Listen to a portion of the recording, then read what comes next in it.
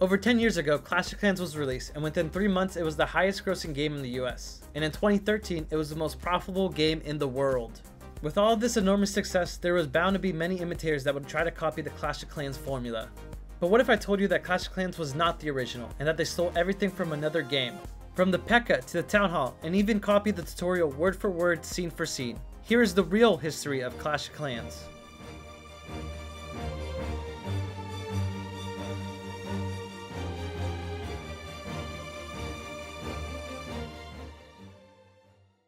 KIXEYE, a game studio founded by David Scott, Paul Preece, and Will Harbin, is responsible for some of the most popular Flash games of all time.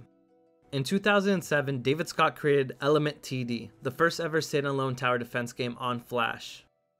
Soon after, Paul Preece created Desktop Tower Defense, a tower defense game where the player would create their own maze, unlike the usual preset paths the enemies would follow in most tower defense games. This game was a huge success and had over 100 million plays, Paul's second variation of this game was made for Facebook called Desktop Defender. Bringing the game to Facebook allowed the game to be played online with friends. This taught him and David a lot about creating online games. After this was released, they wanted to make another game expanding on this idea. David Scott, a co-founder of KIXEYE, came up with the idea to make a tower defense game where you would build your maze over a long period of time. This version would be more like building a base in an RTS, like Command and Conquer, rather than the typical tower defense game. You would then construct and send troops to attack other people's mazes. The idea evolved into a game where you would build a city, train monsters, and then send them to go loot other people's cities. Doing this combined the MMO and RTS genres for the first time. This game was called Backyard Monsters.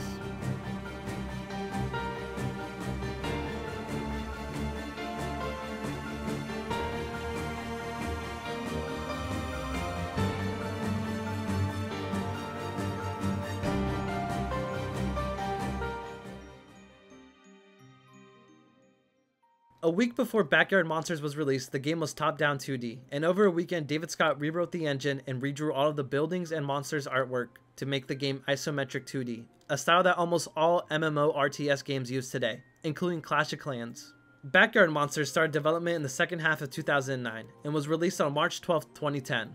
Now that we know that Backyard Monsters was the first MMO RTS, let us see what Clash of Clans stole from Backyard Monsters.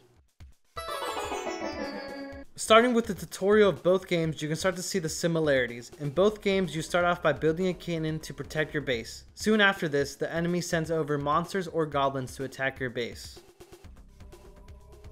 After a successful defense, you will receive Pokey, or in Clash of Clans, you receive Wizards to seek revenge on the enemy. After successfully defeating the enemy base, you build a hatchery and resource collectors. Just like in Clash of Clans where it has you build a barracks, an elixir pump, and gold mine. At the end of both tutorials, the game has you upgrade your town hall to level 2. Yes, you heard that right. The tutorial of Clash of Clans was stolen from another game that came out two years earlier. In this section, we will examine the origin of key elements in Backyard Monsters including the Town Hall, resource collectors, and defenses. Like we said before, David was influenced by real-time strategy games such as Command and Conquer. In an RTS game, the Town Hall is the most important building as it serves as the hub for building and upgrading structures and troops. To upgrade buildings and troops, you need resources. In some RTS games, you can gather resources by sending out workers or by having resource collectors that generate resources passively over time. David Scott, the creator of Backyard Monsters, combined these elements from popular RTS games with an MMO game to create a new type of game. While Backyard Monsters expanded on the RTS genre by giving players their own map slash base to build and upgrade over time, Clash of Clans did not innovate much and simply copied this mechanic. This made the game more about attacking and building bases while eliminating the need for players to start from scratch and manage resources each game. Backyard Monsters was an always online game with countless of bases to raid. This meant that David Scott needed a way to regulate player progress. He introduced several key innovations, including limiting the number of builders per player to 5 implementing long upgrade times that could last for over a week, and capping the amount of housing spaces for each player's army. These innovations set Backyard Monsters apart from other RTS games. Unfortunately, Clash of Clans simply copied these ideas without acknowledging their origins. As a result, many people wrongly believe that Clash of Clans was the original game. With these long upgrade times, of course people wanted to speed them up, and that is where Backyard Monsters brought in their in-game currency called Shiny. In Backyard Monsters, Shiny is a premium currency that players can earn by completing quests, removing obstacles from their yard, or by purchasing it with real money. Shiny can be used to speed up building and training times, trade for resources, or hire additional workers. The second builder will cost you 250 Shiny, the third one is 500, fourth is 1000, and the fifth one is 2000 Shiny. These are the exact same prices that builders cost in Clash of Clans. We will now go over some of the more miscellaneous things that Clash of Clans took from Backyard Monsters. There are too many to go into great detail, so we will just name some that are self-explanatory. Backyard Monsters came up with an easier way to build your base using a top-down base editing feature called the Yard Planner. Clash of Clans had their own version of this called the Layout Editor. Surprisingly enough, Backyard Monsters had a second base the player could use in the game called the Inferno Yard. This came out on January 13th, 2012. This space had alternate versions of the monsters from your normal yard, with some having new abilities and playstyles. Clash of Clans added something similar to their game called the Builder Hall. This came out in 2017. Backyard Monsters had a feature called Alliances, where players could join groups with their friends. The alliances could give you a few different types of bonuses, but there were no wars like Clash of Clans. Interestingly, both of the game's clan badges are similar in design, although neither is unique. The Monster Bunker is a defensive tower that releases monsters from it when any of the attacker's troops enters its range. This building works exactly the same on defense as the clan castle. Now that we know where the core game mechanics for Backyard Monsters came from, let us learn more about their troops. We will start with troops from Backyard Monsters and let us see if you can name the troop that Clash of Clans turned them into. Starting with the Pokey, it's a low health and damage melee troop that targets anything. They're not very good by themselves, but in a group they can do some real damage. They also take up very minimal housing space and are easily killed off by splash damage. What Clash of Clans troop does this remind you of?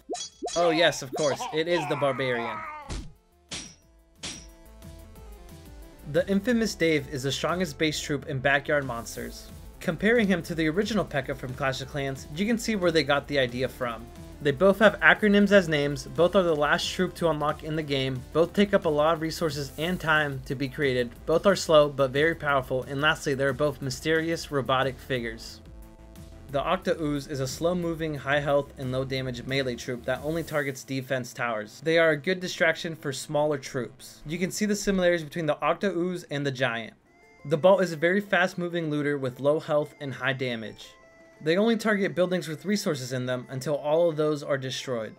Not really much to say here besides that they are very similar to the goblins from Clash of Clans. The Eye-Ra is a monster that's favorite target is walls. They will blow themselves up, damaging or destroying walls. They are a great opening troop as it helps your monsters infiltrate the base faster. And yes, you guessed it right, this is what Clash of Clans copied to make the wall breakers. Now, let us get into why you have never heard of Backyard Monsters. Backyard Monsters was a flash game only playable on Kongregate and Facebook. Within the first three months, they had grown over 500,000 monthly active users, and by July 2010, that number had grown to 4.5 million. This game was something that no one had ever seen before, and this contributed to its early success. One of the unforeseen downsides of Backyard Monsters would be that it was a game made on Flash and could only be played on the computer. Comparing that to Clash of Clans that can only be played on the phone, you can start to see the problem with the game. A base building game where you are encouraged to check on your base every day is a lot easier with a phone than on a computer. Many people do not know this, but Clash of Clans was originally being developed for the computer and not mobile. Now, it is easy to say that Backyard Monsters should have been made for the phone, but this was 2010, and the gaming market was just getting started. Also, the developers of Backyard Monsters were veteran Flash developers. They could not have foreseen the success this game was going to achieve. Now, even with this inherent downside, why did Clash of Clans become so much more successful than Backyard Monsters if they just copied their game? In the words of David Scott, they did teach us a valuable lesson on the importance of a game's theme on its overall reach and success. You see, Supercell saw the success that Backyard Monsters was having on Facebook and saw an opportunity to put the game on the rapidly growing mobile gaming market. They made a very friendly and clean art style that people of all ages would like to look at. They designed their troops where anyone can understand what they do without having to play the game. Whereas in Backyard Monsters, you would have no idea what these troops do by just looking at them. Clash of Clans took Backyard Monsters and coated it with a fresh coat of paint, cleaned up a couple of problems, added better social features, and brought the game to a much larger audience. This is why they succeeded, but we must give credit to the real innovators who created the genre and are the only reason that Clash of Clans could be around today. Another thing that David Scott told me about his feelings on Clash is I will say that is a good thing for all that game design cannot be copyrighted. If it were, then we would all be playing Wolfenstein 3D. I just wish people innovated more though. Wise words from a true innovator of the industry. This video was created to shed light on the true history of Clash of Clans, as the game's developers have shown little interest in acknowledging it. Despite watching several videos about the game's history, I could not find any that mentioned Backyard Monsters as Clash of Clans source material. It is now clear that Clash of Clans is the real clone which makes the thousands of videos calling other games Clash of Clans clones ironic and hypocritical. I would like to give a big thanks to David Scott for providing valuable insight into the creation of Backyard Monsters and helping with the making of this video. His input cleared up some questions and taught us more about the game's development. Despite attempts to reach out to developers who worked on the original Clash of Clans team, none responded, but I remain interested in learning about their development process and why they chose to move the game's development to mobile.